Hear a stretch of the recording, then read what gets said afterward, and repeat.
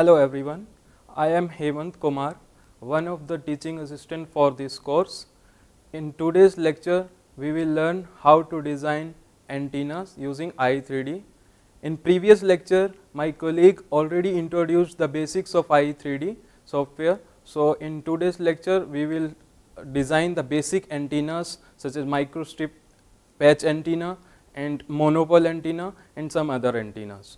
So, let us start with IE3D. First start with MGRID, then we will have this window. In this window we have file option, we will design a new antenna. Here we are going to design a microstrip patch antenna at X band and uh, the substrate we have used is RT Duroid 5880. So, first we have to select the dielectric layer from this option. You can see here Z top, Z top is the thickness of our substrate that we can give as 0.031 inches which is equivalent to 0.787 mm. Then dielectric constant of the substrate which is 2.2 then Loss tangent of the substrate 0.001 then press OK. So, we have introduced one dielectric layer then press OK. So, a layout editor window is introduced in this window we will design our patch antenna. The dimensions of the microstrip patch antenna you can find out easily using the formulas available. You can also easily find out these using the line gauge in the IE3D software. So, the dimension found out to be for a microstrip patch antenna at a center frequency of 9.3 gigahertz. So, at 9.3 gigahertz we have found out the patch antenna dimensions which is 10.2 by 10.2. So, we can select a rectangle from this uh, IE3D M grid window rectangle option and we are going to design a metallic patch at z is equal to 0.787. So, the length of the patch is 10.2 mm, width 10.2 as we are going to design a square MSA. So, now press OK. Now, you can see a one patch at a layer of 0.787. So, next task is to give the feed. To give the feed, we will go to the entity option, go to entity option, then probe feed to patch. Now, the next is where we have to feed. The location can be taken as a L by 6. So, for this we have optimized this and we have found out the value of feed location is 1.4 mm from the center. So, press enter.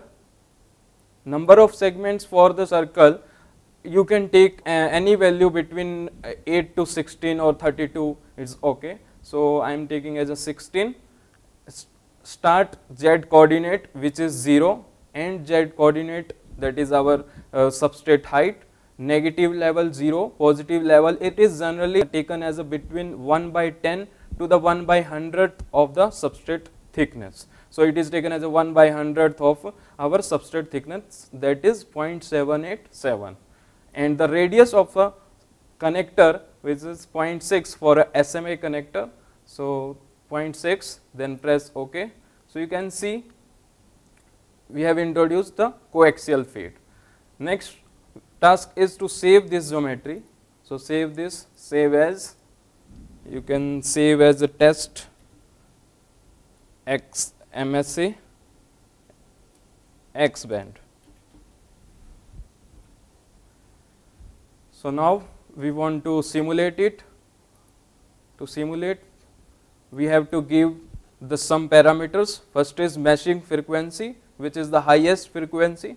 So, the maximum frequency you can take as a 12 gigahertz and the number of cells per wavelength because it is a simple structure 30 mesh cells are enough and automatic edge cell as in the previous class it was explained what is AEC. So, select AEC layer 1 then press OK.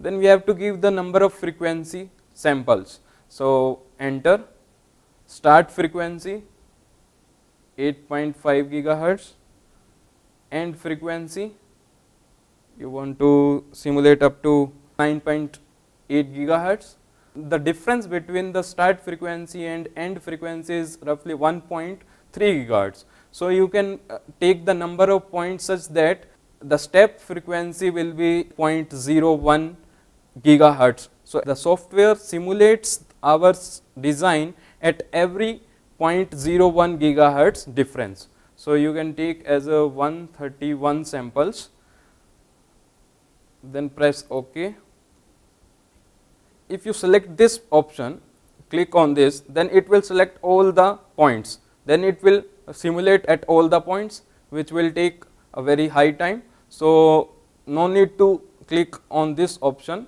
now it will select some random points and it will simulate on those points and to find out the radiation pattern you have to select this option also click on this a new window will appear here you will see the angle total thetas and total phis. In the 3D there is a theta elevation angle and phi azimuthal angle. So, 37 means because phi varies from 0 to 360. So, it divides the total angle 0 to 360 in 37 samples. So, every sample will be at an angle of 10 degree. Similarly, for this uh, theta because theta varies from 0 to 180. So, it divides the whole range in 37 samples each samples having a difference of 5 degree. So, you can see 0, 5, 10, 15 and in 5 you can see 0, 10, 20 degree. So, and next thing is press OK. Now, you can simulate it for simulation press OK. It will take 5 to 10 second to simulate it. After simulation we will see the characteristics of the antenna, S parameters, VSWR, Smith chart and then we will see the radiation pattern also. So, now we can see a new window has been appeared. In this window you can see add graph, graph definition. In this add graph, delete graph, edit. So, first add graph. In this we will add the S parameters, we can add S parameters, Smith chart, VSWR so, first we want to see the S parameter, click on this. Then we want to see the S parameter in dB. So, click on the dB option, then press OK. We want to see the Smith chart also, then press uh, add graph, add Smith chart, press OK. Then again add graph if you want to see VSWR also. VSWR is generally seen in linear scale. So, click VSWR, OK, VSWR, then press OK. Now, close this window. After closing this window, you will see the results. So, this is our S parameter. So, you can see approximately at 9.3 gigahertz, it is resonating. So, it have a S11 less than minus 10 dB from this point which is approximately 9.1 and this point is approximately 9.35. So, you can see a 250 megahertz bandwidth for S11 less than minus 10 dB has been obtained. So, this is the information you can get from the S parameter. Next is Smith chart. This is our Smith chart. So, from this graph you can see this is our 50 ohm matched and uh, this at this point the frequency is 8.5 and as the frequency is increasing impedance is changing and at approximately 9.3 gigahertz it is matched with 50 ohm. So, it is perfectly matched with 50 ohm. Next is VSWR. VSWR2 is equivalent to S11 or minus 9.6 dB. So, for this you can uh, see the VSWR2 bandwidth is from this point which is approximately 9.1 and this is approximately 9.35. So, you can see 250 megahertz bandwidth. This is the VSWR plot. Next, you want to see the radiation pattern, gain, and directivity. You can go to the window option, window. Here you can see the 3D radiation pattern also. There are various tools are there, gain versus frequency, effective gain versus frequency, axial ratio, efficiency, So, first you want to see the 3D radiation pattern, you can go to the 3D radiation pattern, just press OK. So, you can see from this, this is our 3D radiation pattern. You want to see the 2D radiation pattern, close this 2D radiation pattern, define 2D radiation pattern, a new window will appear, here you will see add plot option, click on this because the antenna is resonating at approximately 9.3 gigahertz. So, you can select the frequency uh, 9.22 approximately which is nearly equal to 9.3. So, you want to see the radiation pattern in E plane, H plane all you have to select E theta and this angle phi 0 click on this this will give you the E plane which will give you the E theta phi 0 then E phi phi 0 you have to select 4 plots E theta phi 0, E phi phi 0, E theta phi 90, E phi phi 90. E theta phi 0 will give you eco. Eco means electric copolarization, electric copolar, copolar component. Similarly, E phi phi 90 which give you H copole. In the H plane the copolar component and these two components E phi phi 0 E theta phi 90 will give you the cross polar component. So, next task is to select the plot style.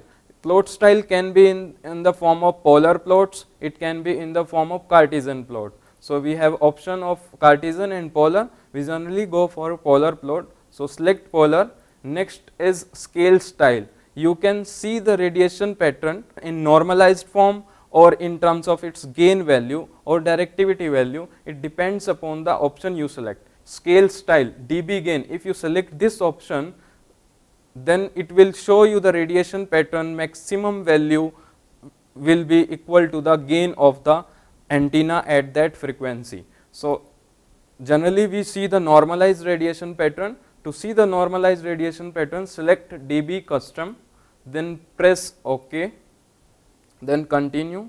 Now, you can see there are 4 plots. First plot is you can see this one, this is eco, E theta phi 0. Second, this curve which shows you the cross polar component. Third one is also a cross polar component in H plane, but very small. So, it is less than minus 40 dB. So, it is not possible to show in this plot. Next plot is E phi phi 90 which gives you the H copole copolar component in the H plane. So, this is the radiation pattern. You want to see the beam width of this antenna for 3 dB. You can click on this for minus 3 dB because maximum value is 0 dB and uh, for minus 3 dB you can approximately you can see this is minus 2.95. So, approximately 3 dB.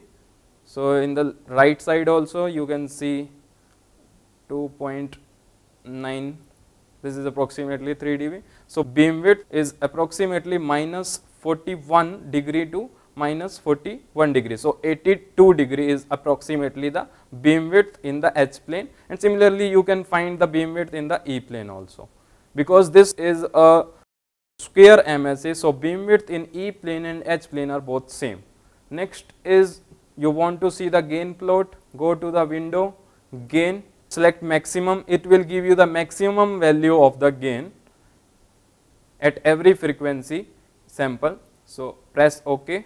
Now, you can see at approximately 9.25 gigahertz gain is maximum which is around 6.8 dBi.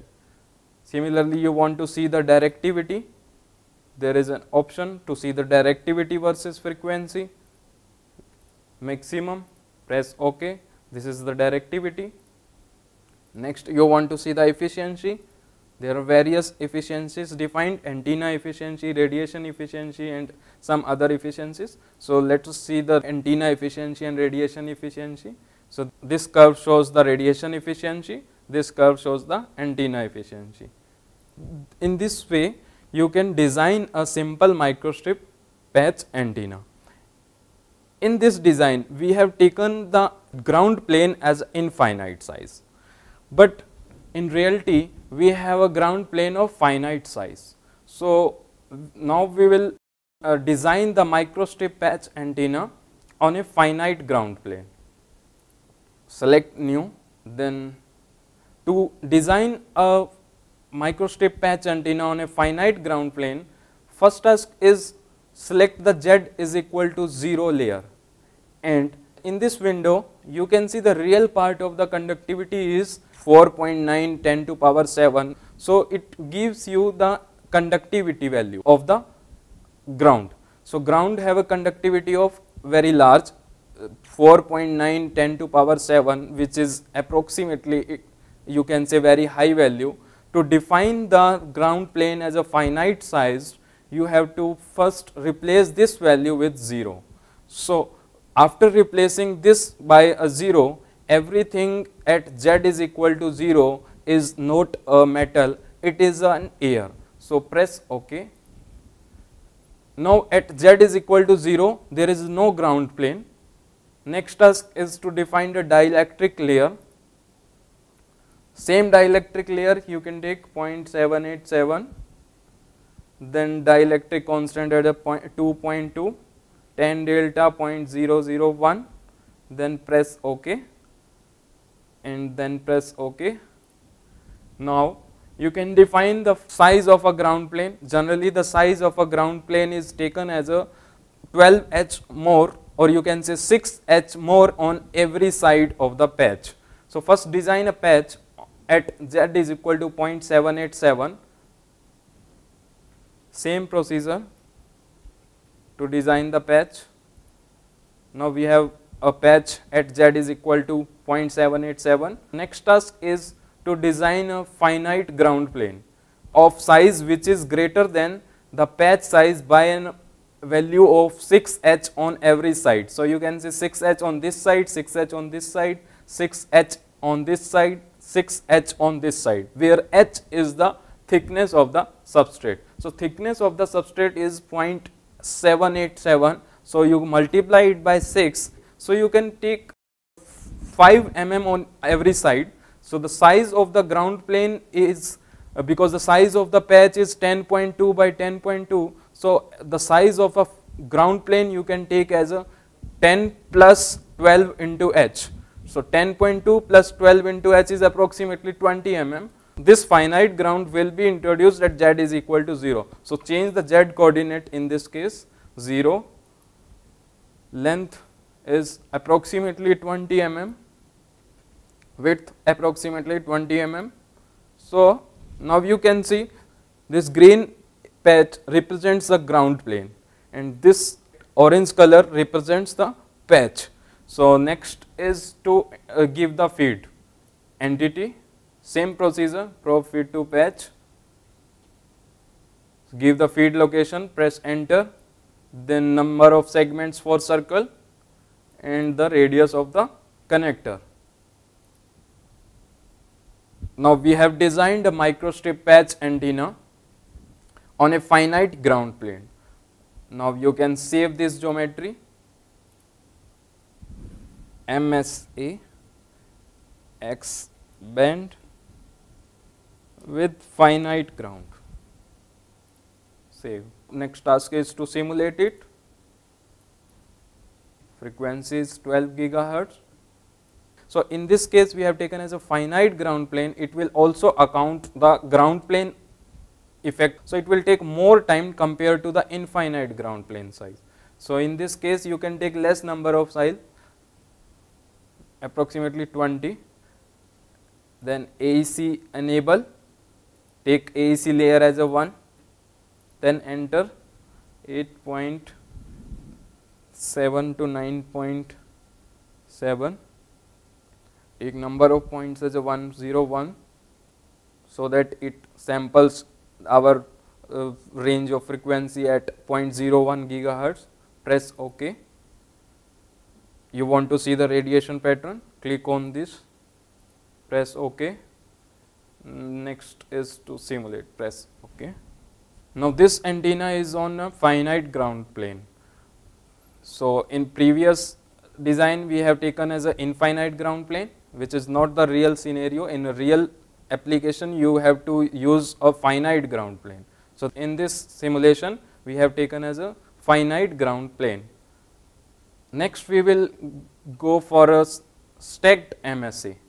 Now simulation is over you can add graph S parameter dB. You want to see the Smith chart, Smith chart, VSWR, you can add VSWR and press OK. So, you can see the results and in the theory sir already told that if you take the ground plane size 6h on every side more than the patch size then the effect of the ground plane can be neglected. So, you can see the it is also resonating at 9.3 gigahertz. You can see the bandwidth for 10 dB. You can see the bandwidth is approximately 250 megahertz. Similarly, you can see the Smith chart. This is a VSWR plot. You want to see the gain plot, maximum gain. This is gain plot Similarly, you can see the radiation pattern, 3D radiation pattern, you can see 2D radiation pattern. This is your radiation pattern.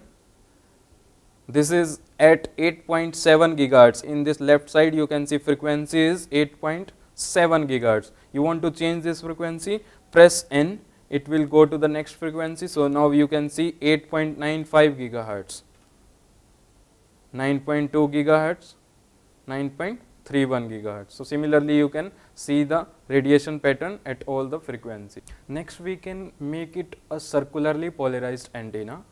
Circularly polarized antenna you can design by giving it a second feed on a y axis at equal distance as given on the x axis. So, here we have given a second feed at the same location as given on the x axis on the first feed. So, you can simulate this. For simulation in the second feed, you have to introduce a 90 degree phase shift. So, to introduce a 90 degree phase shift, you have to modify the inputs. From this modify option, you can click on this. Here you can see we have uh, given a 0 degree to the first input and 90 degree to the second input. So, then press OK, press OK. Every other things are same, then press OK Now, you will see uh, this antenna will become a circularly polarized antenna. You will see the radiation pattern will give you the circular polarization instead of linear polarization in single feed antenna. So, it is over. So, you can see it is resonating at approximately 9.3 gigahertz. This is Smith chart VSWR. Now, we want to see the radiation pattern at plot we want to see the radiation pattern 9.3 gigahertz because this is a circularly polarized antenna. So, in this case instead of E theta E phi we will select E left phi 0, E right phi 0, E left phi 90, E right phi 90 and the same polar plot and scale style you can take as a custom for normalization then press ok then continue.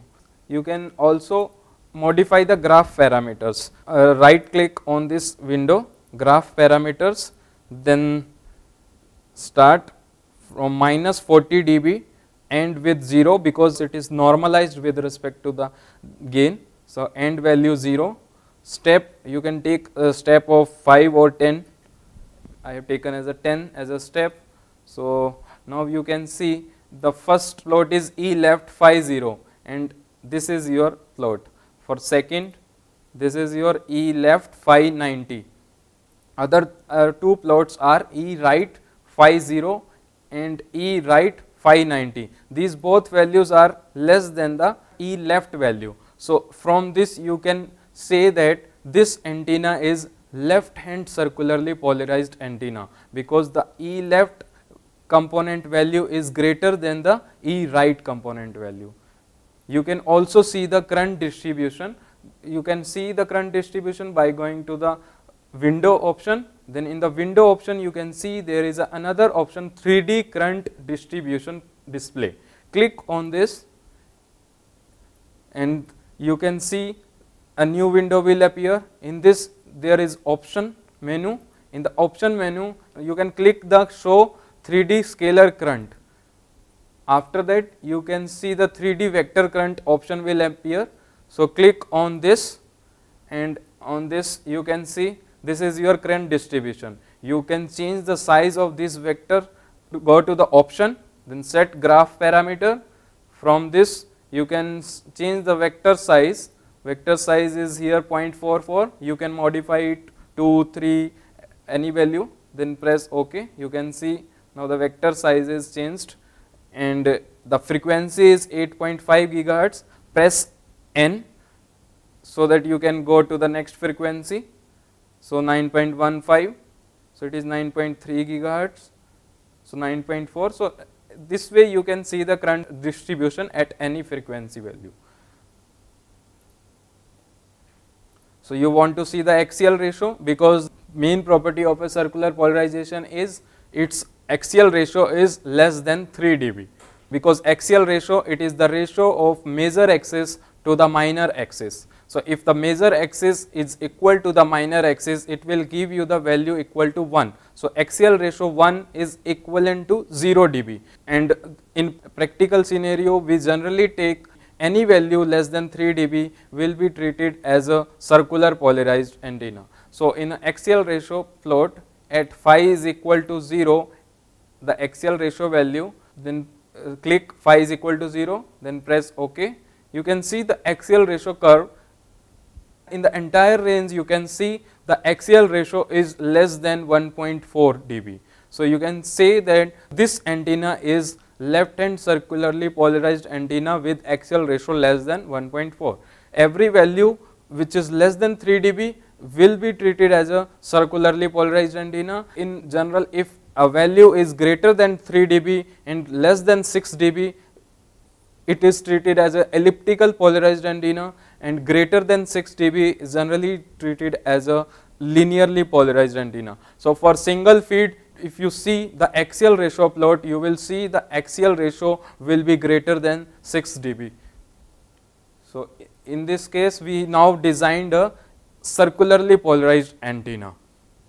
So, in today's lecture we have designed two antennas, one is a single feed linearly polarized square MSA with infinite ground plane with finite ground plane. Next we have designed dual feed circularly polarized microstrip antenna with infinite ground plane. You can also design the same antenna using finite ground plane and see the result. In the next lecture, we are going to design a stacked MSA to increase the bandwidth because in today's lecture we have seen simple microstrip antenna have a very less bandwidth which is uh, we have seen 250 megahertz approximately 3 percent. So, to increase the bandwidth we will design a stacked microstrip antenna and we will also design some other antennas like uh, 3D wire antenna very simple example of a 3D wire antenna is monopole antenna. So, we will design these two antennas in the next lecture. Thank you.